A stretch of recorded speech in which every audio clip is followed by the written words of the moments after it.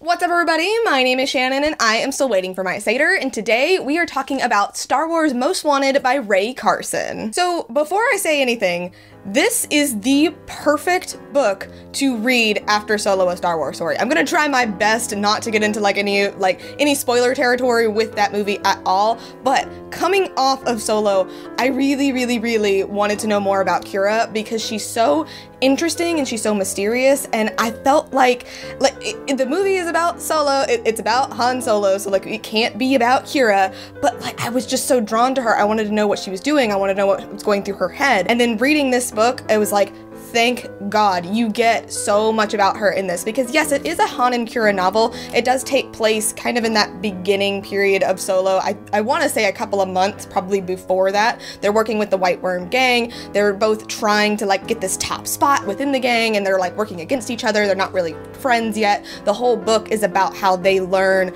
how different they are, but like that makes them work really well together. They really come to appreciate each other. They both have like these really amazing arcs throughout the story story, getting them to kind of almost where we see them at the beginning of Solo, but there's such a heavy emphasis on Qi'ra. I almost want to say that Qi'ra, more than Han, is the main character of Most Wanted, and that's what made me so excited about this book because immediately we're getting all of these details about her. We're learning how smart she is, how she's somebody who's definitely more of like a planner. She doesn't trust anybody because everybody's always been stabbing her in the back. So she's like planning things out. She's gonna do things her way. She can think it through. Whereas Han is very much the opposite of that. He operates almost entirely just on like improvisation and like gut feeling and he makes connections and makes friends with people. So they're very much at odds and they're kind of forced together because of like these deals that go wrong and they're on the run together. And it's really cool to see how they balance each other out. And what's even better is that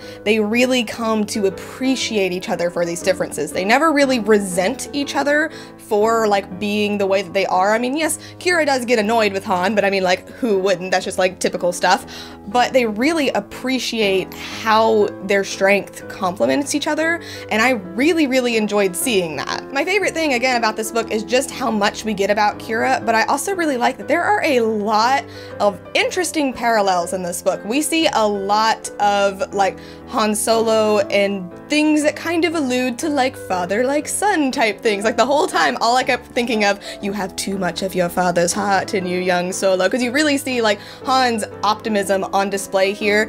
And there's like a lot of things that kind of hint at Ben Solo as well. Like Han isn't so good with like his words. He's got like his emotions written all over his face. There's this one point towards the end where he just completely goes into rage mode. And it was just so Kylo Ren. I just, I couldn't believe it. But then we also get a lot of things with Qi'ra, and what's interesting is that in the Solo movie, you could argue that like Qi'ra is kind of Kylo Ren and Han is kind of Rey, which I'm actually going to be talking about over on Network 1901's channel on Wednesday, so you definitely want to go over and check that out. But in this book, Qi'ra really mirrors Rey a lot, so they almost flip it, especially with some things that we learn towards the middle of the book. I'm not going to go into it, I don't want to spoil it. We'll actually probably talk about that on Thursday when I tell you everything you need to know about this book if you don't want to read it.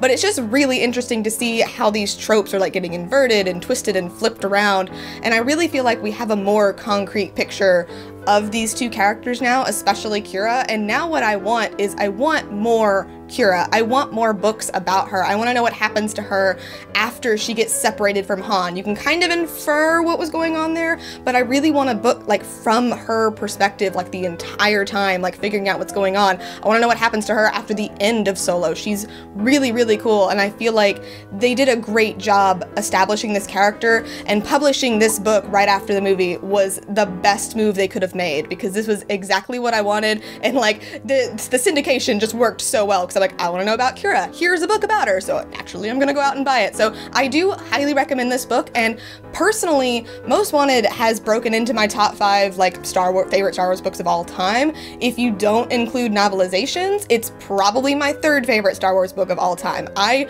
really, really enjoyed it. I got a lot of a lot of thoughts about it, so I do highly recommend it. But thank you guys so much for watching this video. If you liked it, be sure to hit that like button down below and don't forget to subscribe so you can talk books with me every week. That that is everything got for today, and I will see you guys next time.